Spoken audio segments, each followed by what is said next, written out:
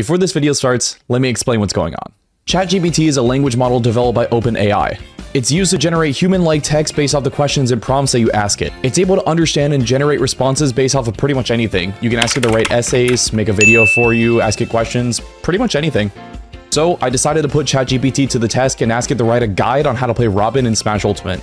And the results were not bad, actually. And now that that's out of the way, let's get right to the guide. What you're about to see was written completely by ChatGPT. I had no part in this guide.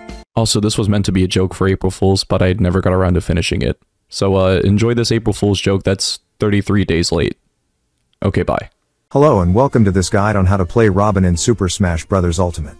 In this video, we'll be discussing Robin's moveset, playstyle, and strategies to help you dominate the battlefield. First, let's take a look at Robin's moveset.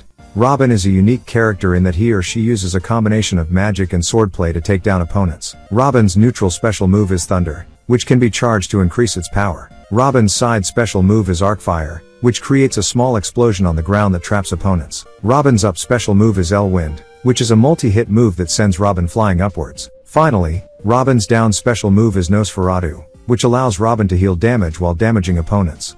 Now let's talk about Robin's playstyle. Robin is a zoning character, meaning that he or she excels at controlling space on the battlefield. Robin's projectiles, such as Thunder and Arcfire, are great for keeping opponents at bay and setting up combos. Robin also has good aerial mobility, which makes him slasher effective at chasing down opponents and attacking from the air. One key aspect of playing Robin is managing his slash her limited uses of magic.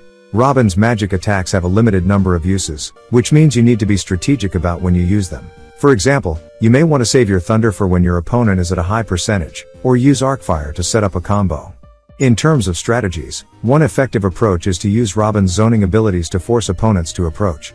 Once they're in range, you can use Robin's swordplay to deal damage and set up combos. Another strategy is to use Robin's mobility to stay on the move and attack from unexpected angles.